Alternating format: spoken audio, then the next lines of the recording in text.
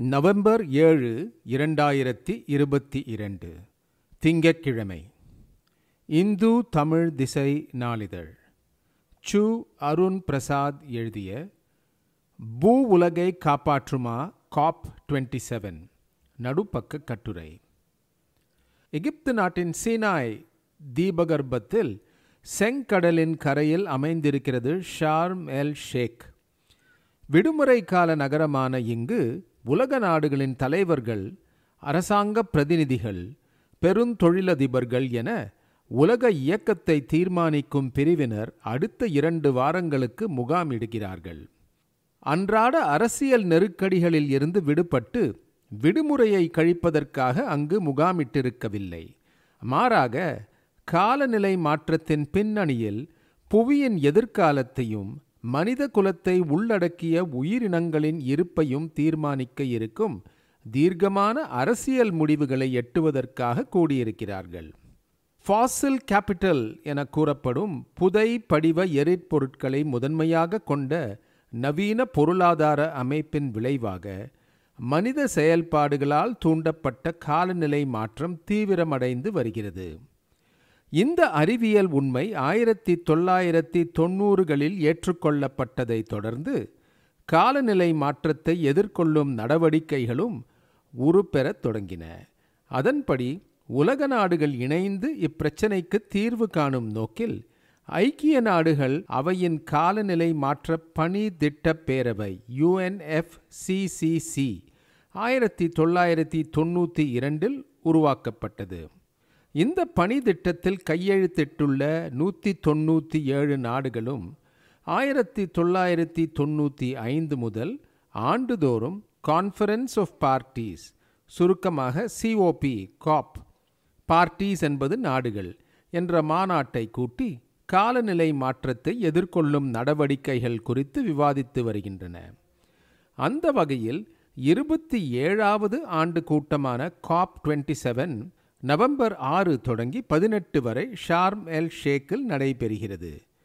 காலநிலை மாற்றம் ஓர் அறிவியல் உண்மை என்பது ஏற்றுக்கொள்ளப்பட்ட பிறகு வளிமண்டலத்தில் கரி அமில வாயுவின் சேர்க்கை அதிகரித்து புவியின் சராசரி வெப்பநிலை துரிதமடைய தொடங்கியது ஒரு வரலாற்று முரண்.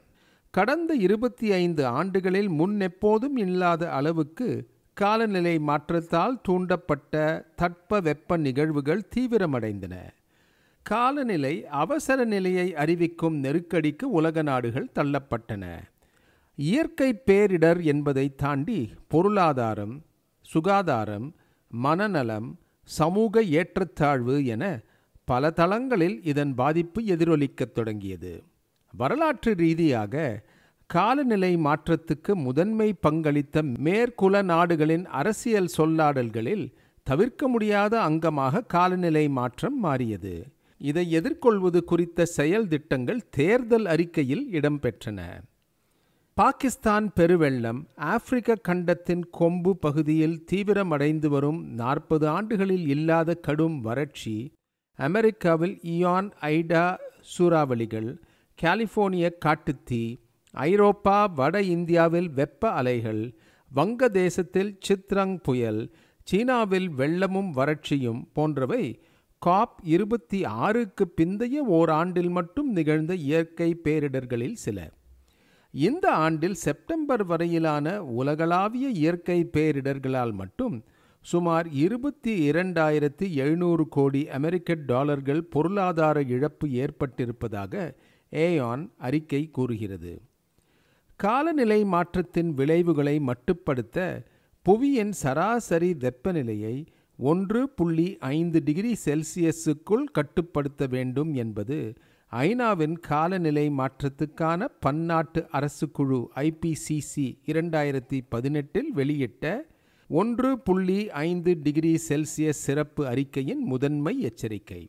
ஆனால் இரண்டாயிரத்தி இருபத்தி இரண்டு அக்டோபர் இருபத்தி ஏழு அன்று வெளியான உமிழ்வு இடைவெளி அறிக்கை இரண்டாயிரத்தி இருபத்தி ரெண்டு ஒன்று புள்ளி ஐந்து டிகிரி செல்சியஸை எட்டுவதற்கான சாத்தியமுள்ள வழிகள் இப்போது இல்லை என கைவிரித்து விட்டது அதை மட்டுப்படுத்துவதற்கான நடவடிக்கைகளும் போதுமானதாக இல்லை என்று கவலை தெரிவித்திருக்கிறது.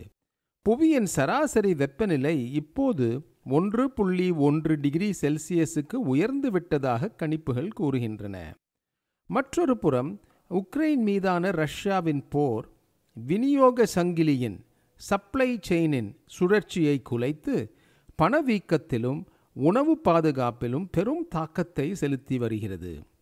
தன் மீதான பொருளாதார தடையின் காரணமாக ஐரோப்பிய நாடுகளுக்கு விநியோகித்து வந்த எரிவாயு விநியோகத்தை ரஷ்யா நிறுத்திவிட்டது. எரிவாயு பயன்பாட்டுக்கு ரஷ்யாவையே முதன்மையாக நம்பியிருந்த ஐரோப்பிய நாடுகள் பற்றாக்குறையை சமாளிக்கும் நோக்கில் மீண்டும் நிலக்கரி பயன்பாட்டுக்கு திரும்பியுள்ளன. புதைப்படிவ எரிபொருள் பயன்பாட்டை குறைக்கும் பூஜ்ய கரிம உமிழ்வு இலக்குகளை இது தகர்த்திருக்கிறது. கரோனா பெருந்தொற்று உலக நாடுகளின் பொது சுகாதாரத்துறையை புரட்டி போட்ட நிலையில் காலநிலை மாற்றத்தின் விளைவால் ஏற்படும் உடல் நல சுகாதார பிரச்சினைகளும் கூடுதல் நெருக்கடியை கொண்டு வருகின்றன. அத்துடன் உலகின் இரண்டு மிக பெரிய மாசுபாட்டாளர்களான அமெரிக்கா சீனா இடையேயான மோதல் போக்கு காலநிலை மாற்றத்தை எதிர்கொள்வதில் பின்னடைவை ஏற்படுத்தும் என்றும் அஞ்சப்படுகிறது.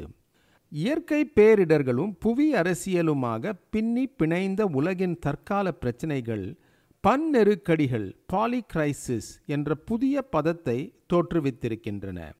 இந்த பன்னெருக்கடிகளின் பின்னணியில்தான் காலநிலை மாற்றத்துக்கு தீர்வு காண உலக நாடுகளின் தலைவர்கள் ஷாம் எல் ஷேக்கில் கூடியிருக்கின்றனர். காலநிலை மாற்றத்துக்கு மீச்சிறு பங்களித்த ஆப்பிரிக்க கண்டம்தான் அதன் மோசமான விளைவுகளுக்கு முதன்மையாக முகம் கொடுத்து கொண்டிருக்கிறது. இந்நிலையில் எகிப்து போன்ற ஒரு நாட்டின் தலைமை பின்தங்கிய வளர்ந்து வரும் நாடுகளுக்கான காலநிலை நீதியை கோருவதில் முக்கிய பங்கு வகிக்கும் என்று எதிர்பார்க்கப்படுகிறது. வெறும் பேச்சுவார்த்தையில் இருந்து திட்டமிடலுக்கும் நடைமுறைப்படுத்துதலுக்கும் நகர்வதற்கான ஒரு வாய்ப்பாக காப் இருபத்தி ஏழு பார்க்கப்படுகிறது. வளர்ந்து வரும் நாடுகள் புதை படிவ எரிபொருளில் இருந்து புதுப்பிக்கத்தக்க ஆற்றலுக்கு மாறுவதற்கான நூறு பில்லியன் அமெரிக்க டாலர் நிதி ஆதாரத்தை இரண்டாயிரத்தி இருபது இரண்டாயிரத்தி இருபத்தி ஐந்து காலகட்டத்துக்குள் வளர்ந்த நாடுகள் திரட்டித் தர வேண்டும் என்று இரண்டாயிரத்தி ஒன்பதில் முடிவு செய்யப்பட்டது. காப் இருபத்தி ஏழில் அது தீவிரமாக வலியுறுத்தப்படலாம். நீண்டகால நோக்கில் இரண்டாயிரத்தி எழுபதில் பூஜ்ய உமிழ்வு என்ற இலக்கை இந்தியா நிர்ணயித்திருக்கிறது. புதுப்பிக்கத்தக்க ஆற்றல் மூலம் ஐநூறு கிகாவாட் ஆற்றல் உற்பத்தியை இரண்டாயிரத்தி முப்பதுக்குள் இந்தியா எட்டும் என காப் இருபத்தி ஆறு மாநாட்டில் பிரதமர் மோடி உறுதியளித்தார். அமெரிக்கா சீனாவுக்கு அடுத்தபடியாக உலகின் மூன்றாவது பெரிய மாசுபாட்டாளராக இந்தியா இருக்கும் நிலையில் காப் இருபத்தி ஏழில் இந்தியா முக்கிய பங்கு வகிக்கும் என்று நம்பப்படுகிறது.